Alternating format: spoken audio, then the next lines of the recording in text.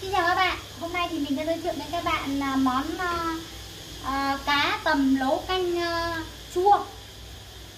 Đây thì ra uh, nguyên liệu. nguyên liệu của mình bao gồm là cá, đầu cá tầm với lại uh, mình của cá tầm nhá. Đây là giá đỗ này, cà chua này, hành này, uh, cái gì đây, xả này, với lại là hành lá với lại um, uh, thịt lạ nha các bạn nhé nước mắm này mì chính này bột canh. Đấy thì sau đây thì mình sẽ bắt đầu làm uh, sơ chế các uh, nguyên liệu uh, của nó nhé Mẹ phải mang quần áo đi cho con thay đây bây giờ thì mình sẽ uh, tiếp theo là mình sẽ rán cá nha các bạn nhé đấy nhá rán sơ qua lên một chút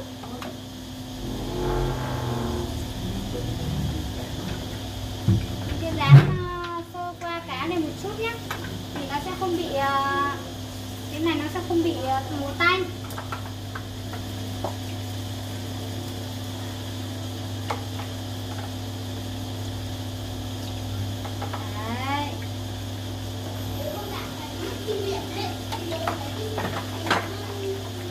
À quên, gia vị của mình ở đấy là thiếu phần dứa nhá các bạn nhé.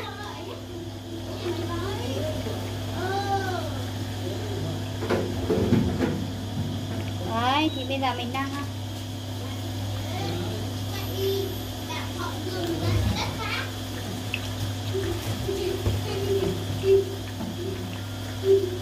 mình sẽ rán uh, cá lên nha các bạn nhé. Đấy.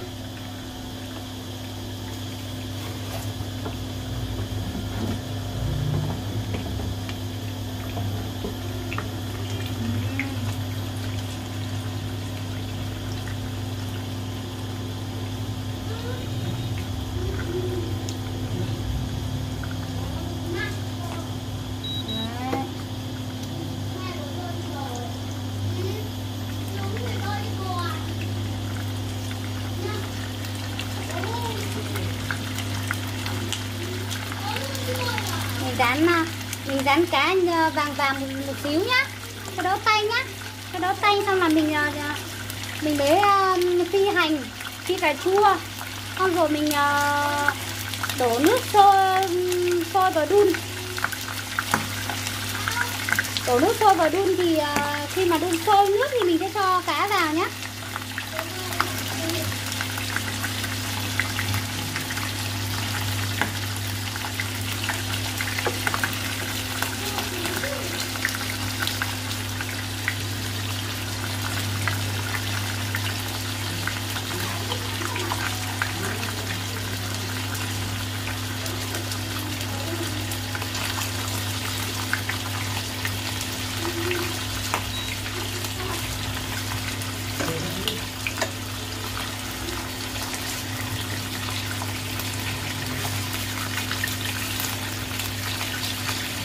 nhá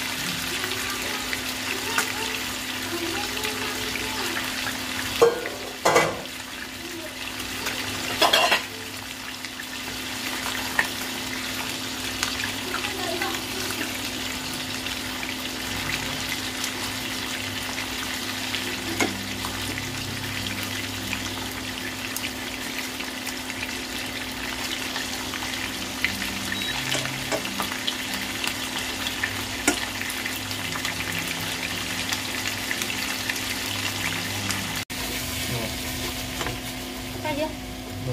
Rồi. Đây, bây giờ mình sẽ ờ, uh, phi dứa này, cho dứa này, hành với lại uh, xả với lại cà chua với cá vào nhá. Mình rán cá xong rồi thì mình cho vào mình uh, xào chúng lên nhá.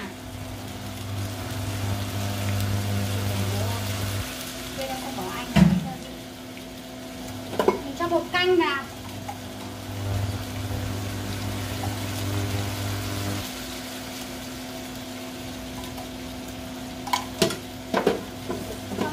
ấm ra nhé.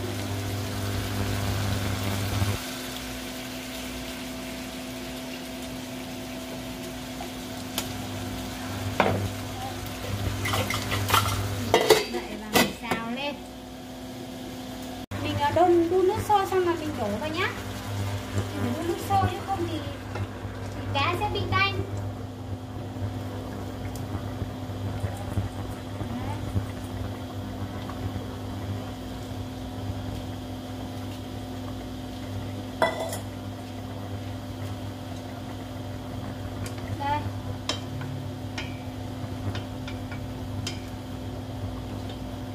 những cái món ờ, món của mình sắp xong rồi đây. Đây. Đó các bạn nhìn hấp dẫn chưa? Đấy. Và mình đun ờ, tầm khoảng ờ, 15 phút. Mình đun nhỏ lửa thôi nhá. Mình đun tầm khoảng 15 phút xong rồi là ờm, xong thì mình sẽ lên nếm gia vị cho thêm mì chính và cho hành thì là vào. Đấy vậy là xong. Vậy là cái món cá của mình đã xong rồi.